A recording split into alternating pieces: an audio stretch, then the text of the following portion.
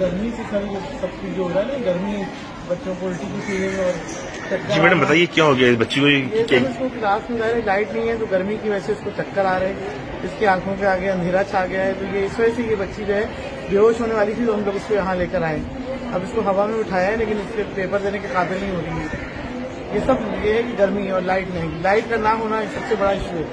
कि लाइट अगर हो यहाँ पे तो सारे काम मतलब इंसान रिलैक्स तो रहेगा ना हवा में तो रहेगा।